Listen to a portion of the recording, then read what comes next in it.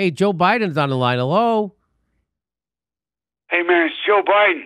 What's up? Anything interesting uh, going on in current events? You watch the Olympics? Uh, Joe, what's happening in Afghanistan? Don't you know already? For Pete's sake, get on the ball, man. we got him. We just killed Bin Laden. We killed Lynn Baden. Mission accomplished. Don't you watch Deborah Norville?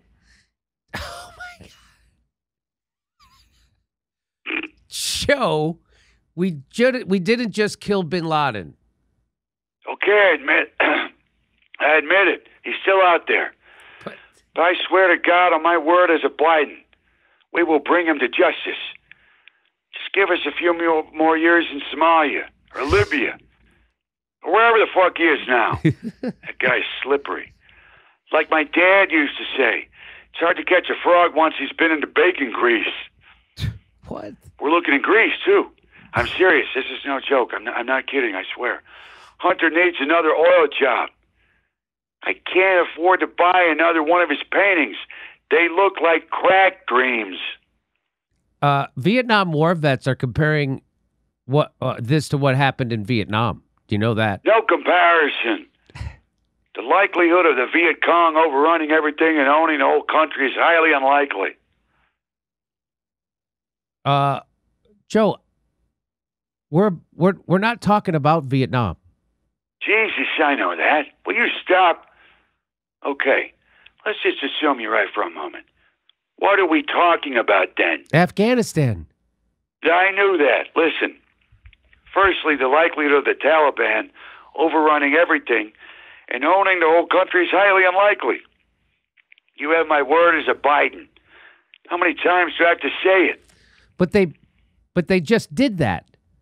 Did what? They they overran the whole country. Look, man, this is this is not proper discourse. you have to stop correcting me when I say stupid shit, or we'll throw you off my spec case. Look, despite the current setbacks, I'm still confident Afghan security forces have the capacity to sufficiently defend the airport parking lot, and with God's help, eventually take back the smoking lounge and the pizza hut. However, the Mr. Softee truck is a complete loss. But things are looking up. Did you see those warlords riding the bumper cars yesterday? Our charm offensive is working. Just wait until they hit False Flag's Magic Mountain. The walls are closing in on the Taliban. So who's to blame for all this, Joe? Look, I, I, I've only been doing this for 50 years. so, so I blame the Afghan people. Jesus. They weren't up to the challenge of our freedoms.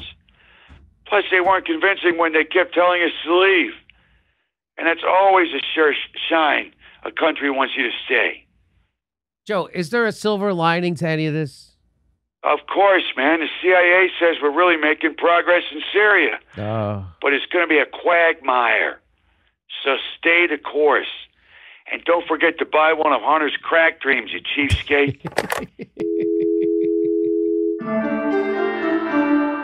The Jimmy Dore Show is coming to a city near you August 28th. We're in Las Vegas at the Plaza. And we just added another show in Portland. We're there in Portland on September 10th and 11th. October 3rd, we're at Harlow's in Sacramento. More dates being added. Go to jimmydorecomedy.com for a link for all tickets. See you at a live show.